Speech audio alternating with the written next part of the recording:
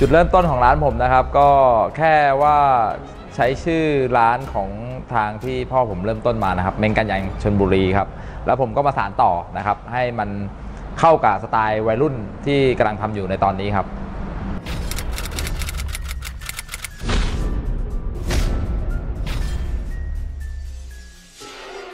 ร้านเม้งกันยางนะครับ เปิดดำเนินการมาก็ประมาณ 13 ปีครับนะฮะ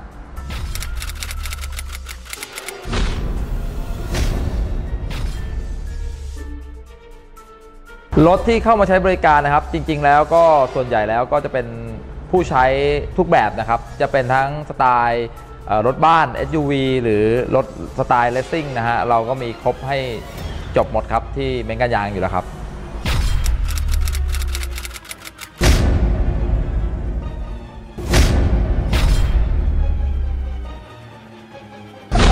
อันนี้นะครับต้องสำคัญเลยครับ คืออันดับแรกเลยครับตัวผม นะครับที่ลงมาดูแลลูกค้านะครับแล้วก็ด้วยว่าสินค้าที่มีคุณภาพที่เราขายอยู่นะครับในตอนนี้นะฮะทั้งแบรนด์แต่ละแบรนด์นะครับที่เราขายก็เป็นแบรนด์ชั้นนำทั้งนั้น และคุณภาพสินค้าไม่ต้องห่วงครับการันตีครับ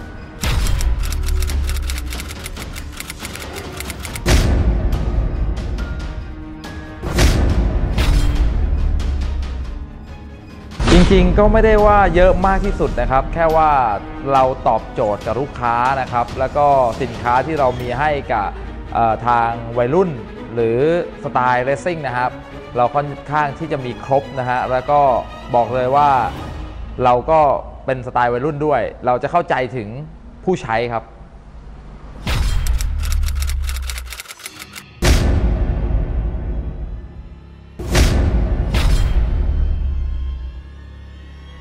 อันนี้นะครับผมบอกเลยว่ามันเป็นแผนการตลาดของแต่ละคนนะครับ เพราะว่าอันดับแรกเลยอย่างเรานะครับ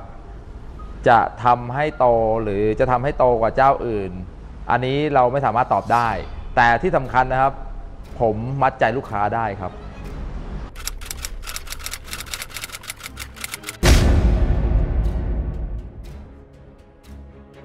โอ้โห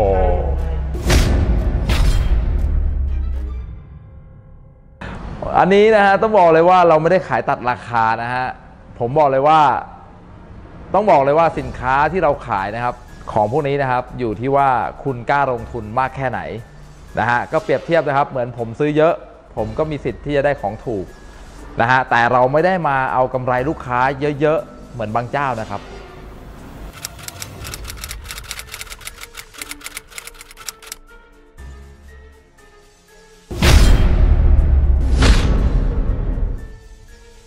อันนี้บอกเลยครับว่าเป็นไปไม่ได้นะครับ การไลฟ์สดนะครับของผมนะครับ ทุกคนจะรู้นะฮะว่าไลฟ์สดผมเน้นคนพร้อมโอนอยู่แล้วนะครับ ใครไม่พร้อมโอน ดูเฉยๆครับ ผมก็จะพูดตลอดนะฮะไม่มีใครหรอกครับที่จะมานั่งเสียเวลานะครับ ยามเย็นที่จะต้องไปกินข้าวกับครอบครัว หรืออาจจะต้องไปดูแลลูกนะครับ แล้วต้องมานั่งไลฟ์สดทุกวัน เพื่อไม่ได้ผลประโยชน์อะไรนะครับ ผมบอกแค่นี้แล้วกันนะฮะ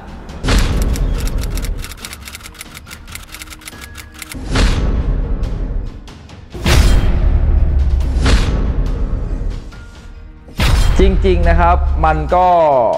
เป็นเพราะว่านะครับสินค้าที่เทิร์นมาทำไมถึงสูงกว่าชาวบ้านคือ1นงนะฮะลูกค้าบางท่านนะครับก็เป็นลูกค้าเก่าของเรานะฮะบางทีเราก็เทิร์นให้เต็มเต็มที่ เพราะว่าเขาเปลี่ยนล้อใน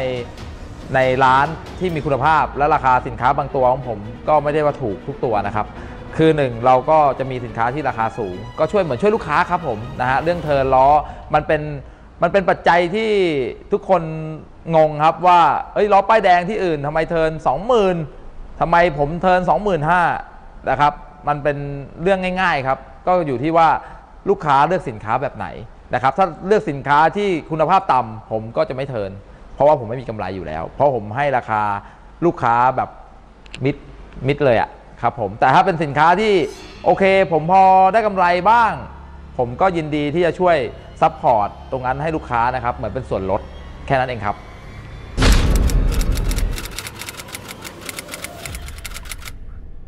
โอ้โห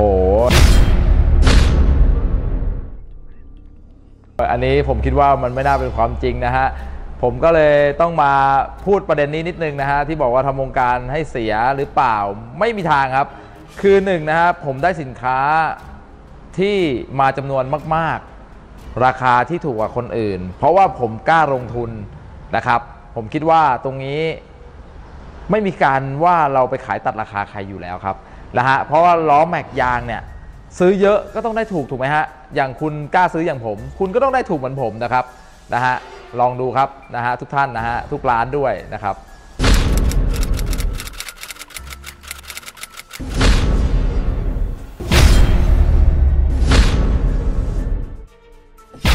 อันนี้ก็ผมบอกเลยว่า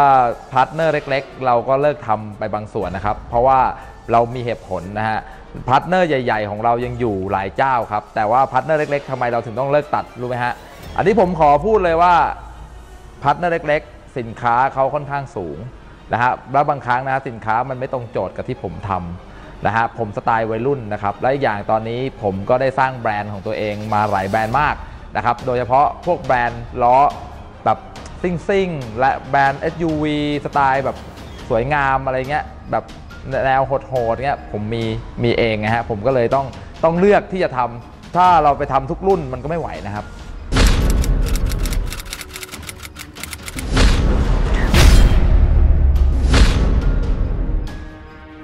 ต้องบอกก่อนเลยนะครับทาง KC View นะครับช่วยผมตั้งแต่เริ่มต้นนะครับกับ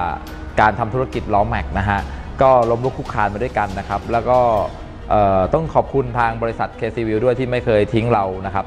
เพราะว่าเเหมือนเป็นคู่ค้าที่ดีกันมาตลอดครับ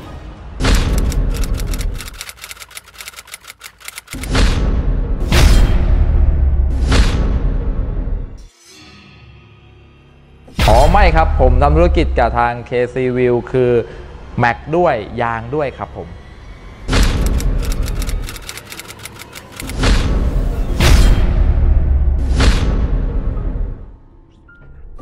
แน่นอนครับ เพราะว่าทางบริษัท KC View นะครับ ก็ช่วยสปอร์ตสินค้าให้เราค่อนข้างเยอะพอสมควร แล้วก็ผมพูดได้ง่าย ๆ เลยว่า ตอนนี้นะครับ ภาคตะวันออกน่าจะเราเป็นอันดับหนึ่งของทาง KC View เลยด้วยซ้ำ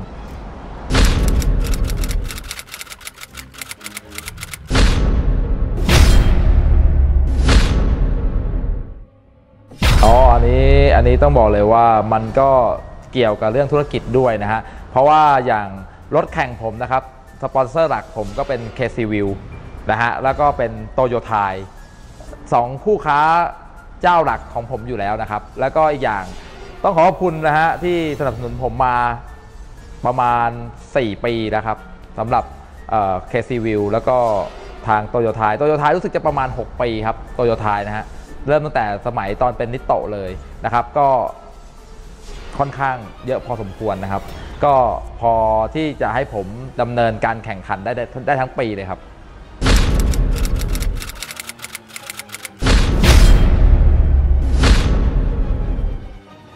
จริงๆนะครับคือที่ทำไมถึงมาแข่งรถ circuit คือสมัยก่อนผมต้องบอกเลยว่าผมโดดเด่นเรื่องรถหลังถนนมาก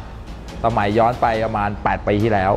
ผมบอกเลยว่าหลังถนนนี่ไม่รู้จักผมนี่เป็นไปไม่ได้อยู่แล้ว ชาวรถซิ่งหลังถนนนะฮะ ทีนี้ด้วยว่ากระแสนะครับที่ตอบโจทย์กับชาวบ้านนะครับที่เหมือนผมเป็นเด็กแว้นเอยหรือผมอาจจะเป็นพวกก่อกวนเอยผมก็เลยเลยต้องหยุดนะครับเส้นทางหลังถนนเพื่อเข้าวงการสู่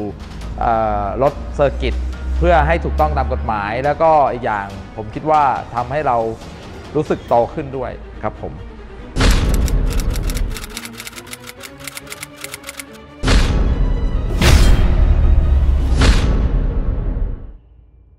ต้องบอกเลยฮะว่าคำถามนี้ผมโดนมาเยอะมาก ว่ามีการหัวตำแหน่งหรือเปล่า หรือโกงรถหรือเปล่า ผมบอกเลยครับ รถเซอร์กิตนะครับ รถคุณเร็ว คุณก็ไม่ใช่ว่าคุณจะขับได้นะฮะถ้าคุณไม่มีฝีมือพอนะฮะคุณลองใช้ความคิดดูนิดนึงนะครับ ว่าการแข่งขันนะฮะรถเร็วแต่คนไม่ประสบความสำเร็จก็มีเยอะ เพราะว่าคุณขับไม่ได้ แต่อย่างของผมนะครับ ผมบอกเลยว่าผมไม่เคยกลัวคู่แข่งที่เก่งกว่านะฮะผมมีความพยายามนะฮะแพ้ได้ชนะเป็นครับ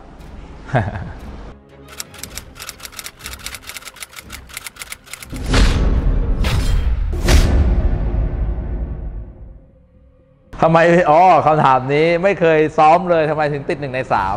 คือผมจะบอกก่อนนะฮะ สมัยตอนที่ผมเริ่มเข้าวงการนะครับ ผมซ้อมหนักมาก ผมซ้อมจน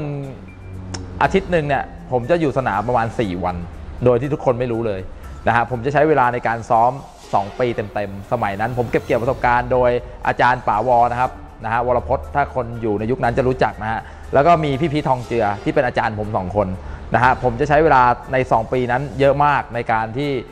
ซ้อมรถ จนวันหนึ่งนะครับผมผมก็พูดเปรียบเทียบแล้วกันว่า เหมือนคุณอะเขียนกอไก่อะอยากหัวเข้าในจะถูกต้อง แต่ถ้าคุณไปอยากหัวออกอะคุณก็เขียนผิดอะคุณก็ไม่มีทางประสบความสำเร็จอยู่แล้วใช่ไหมฮะก็เหมือนการเรียนหนังสืออะผมซ้อมมาจนผมชินกับสนาม มันก็คือมันไม่จำเป็นที่เราต้องซ้อมทุกวันรถแข่งนะครับ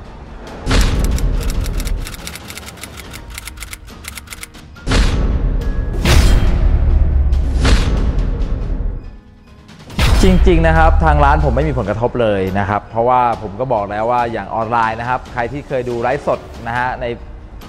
เพจเม้งกันยางชนบุรีนะฮะที่ผมทำไมถึงขายถูกคือหนึ่งต้องเข้าใจนะครับต่างจังหวัดนะฮะลูกค้าเราไม่สามารถจะใช้บริการเราได้ จะเดินทางมาใช้บริการเราได้นะฮะเราก็ต้องขายสินค้าให้ถูกเพื่อให้ถึงตัวผู้ใช้ เพราะว่าเราไม่ได้ไปบริการเขาถึงที่ถูกไหมฮะเขาต้องมีค่าใช้จ่ายในการที่เขาต้องซื้อล้อเราไปเสร็จปุ๊บไปใส่ที่อื่นนะครับผมก็พยายามทำส่วนนั้นให้สินค้าผมนะครับไปถึงผู้บริโภคให้มากที่สุดนะครับ โดยการทำส่วนลดพิเศษให้ลูกค้าที่อยู่ต่างจังหวัดทั่วประเทศนะครับนะฮะได้ใช้สินค้าดีๆ คุณภาพสูง แล้วก็ราคาพิเศษครับ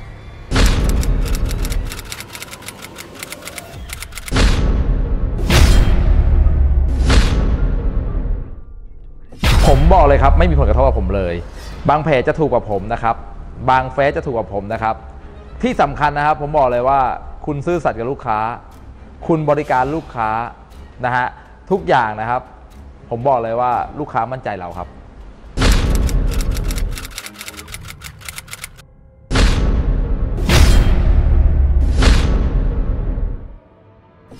ตอนนี้นะฮะต้องบอกเลยว่าการปรับตัวนะฮะผมต้องบอกเลยว่าอย่างเรื่องโซเชียลนะครับเราก็ตอนนี้เราก็อยู่ในช่วงที่เราจะต้องทำการแข่งขันเยอะมากนะครับ แล้วก็ในเรื่องธุรกิจ นะครับ หรือหน้าร้านนะครับ เรามีโอกาสที่จะขยายสาขาเพิ่มอยู่แล้วครับผม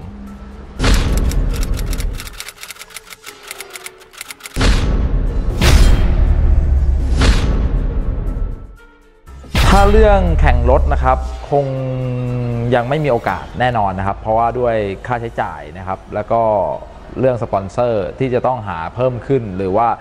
อันนี้ก็เรื่องฝีมือด้วย ผมคิดว่าผมยังไม่สามารถที่จะไปทัดเทียมอะไรกับระดับเอ่อเอาแค่เอเชียพอแล้วกันนะครับคงสู้ไม่ไม่ไหวจริงๆนะครับเพราะด้วยว่าเราทำงานเราไม่ใช่เป็นนักแข่งโดยตรงนะครับ อันนี้คือถึงพูดถึงเรื่องรถก่อนนะครับ แต่ถ้าเรื่องสินค้านะครับ ผมบอกเลยว่าตอนนี้เรามีนี่มีนำนำเข้าส่งออกบ้างแล้วครับ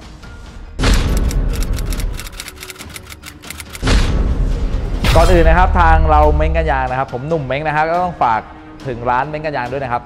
อยากจะเข้ามาดูสินค้าราคาโปรโมชั่น หรือว่าสินค้าดีๆนะครับ ผมบอกเลยว่าสินค้าเรานะครับ ไม่แพ้ที่ไหนแน่นอนครับ แล้วก็ลองเข้ามาใช้บริการกันดูครับ ว่าเราจะดูแลคุณแบบเป็นกันเองขนาดไหนนะครับ ขอบคุณมากครับ